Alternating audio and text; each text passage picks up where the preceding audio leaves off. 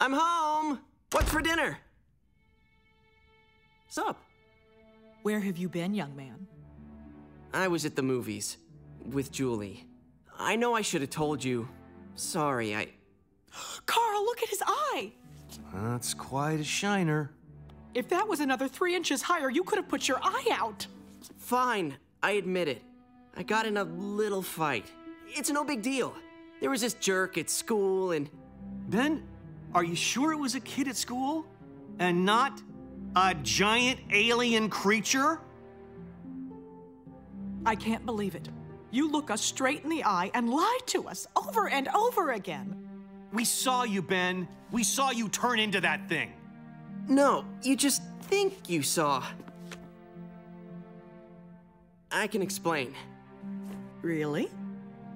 Not so much, no.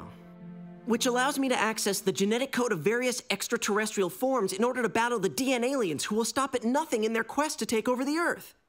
And this became your job when exactly? Five years ago, Grandpa Max said we each have a responsibility to. Oh, of course. Dad, I should have known. That's so typical. He was more than just a plumber. He lied to us. Your Uncle Frank and I knew he had some other life. We knew, and that he lied to us about it all the time. I won't have you lying too. It's our own fault. We were too permissive. And what did we get? A 15 year old son needlessly risking his life. Not needlessly, Mom. It has to be me. The Omnitrix is attached to me, it doesn't come off. Oh, it's coming off all right.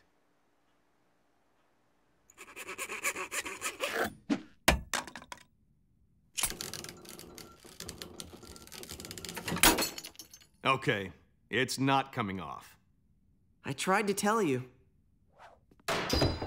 Not a scratch. Sorry about your saw blades. In any case, you're forbidden from using the Omnitrix. Understand? But, Dad, all humanity is counting. Understand? This is not a good time, okay?